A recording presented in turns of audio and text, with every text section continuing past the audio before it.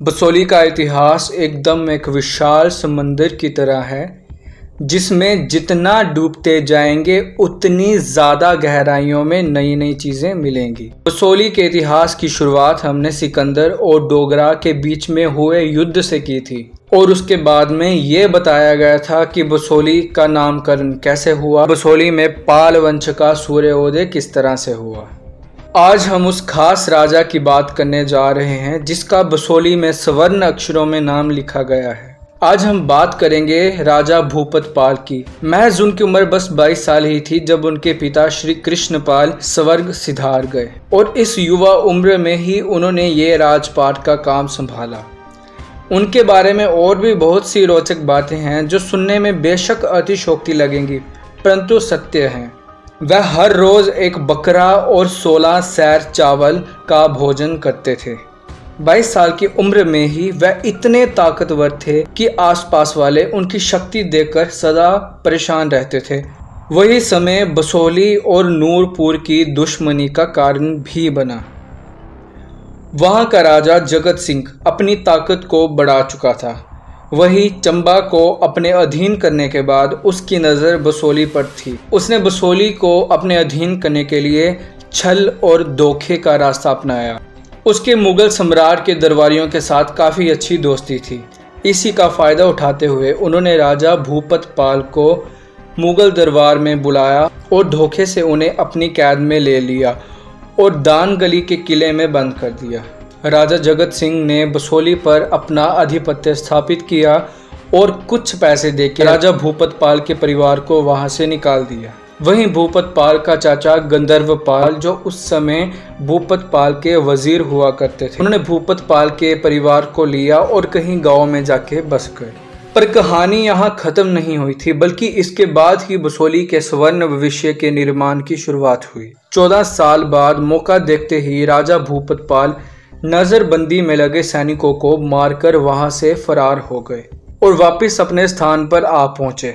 अपने राजपाट की हालत देखकर वह बहुत ही परेशान थे और मजबूरन उन्हें जंगलों में घूमना पड़ा। जंगल में लगी आग की तरह ही जंगल में ये बात फैल चुकी थी कि राजा भूपत पाल मुगलों की कैद से फरार हो चुके हैं और यहीं कहीं जंगल में उन्होंने अपना बसेरा लिया हुआ है। उस समय राजा की चप्पल भी टूटी हुई थी।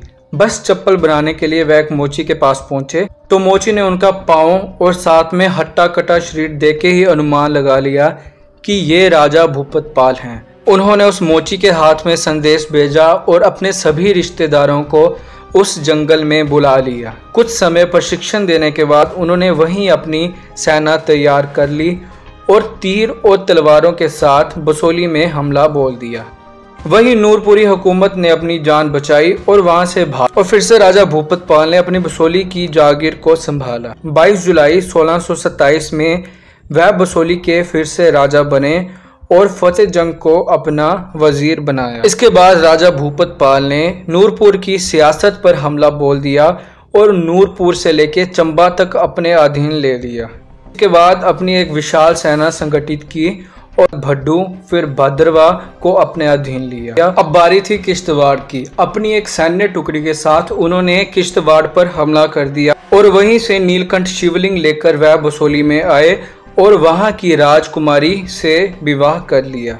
रावी की सरहद के किनारे सदैव नूरपुर के आक्रमणकारियों का खतरा बना रहता था। सुरक्षा के लिए ही रावी नदी के किनारे के जंगलों को साफ़ करवाया गया और बसोली के महल के निर्माण का कार्य शुरू हुआ।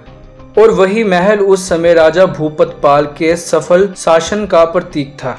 जैसा कि सभी जानते हैं, हर एक सिक्के के हमेशा दो पहलू होते हैं और हर कार्य के पीछे मासूम लोगों का बलिदान। शायद यही पाल वंश के पतन का कारण बना और वह महल भी, जो कभी बसोली की शक्ति का प्रतीक हुआ करता था, और वह इस समय खंडर बना पड़ा है। उन सब के बारे में हम आपको अगली वीडियो में बताएँगे। इससे पहले बनी जो वीडियोस को देखना चाहते हैं तो लिंक मैं नीचे दे दूँगा, वहाँ से जाके देख सकते हो।